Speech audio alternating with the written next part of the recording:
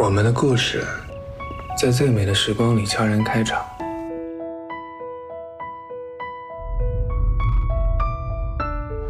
曾经以为说个新年快乐就能一直在一起，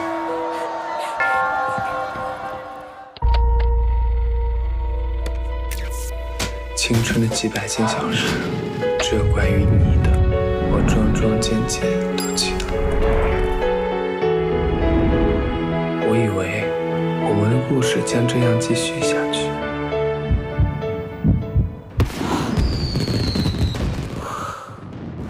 一百件小事，抹去你的痕迹，终于成了一百个遗憾。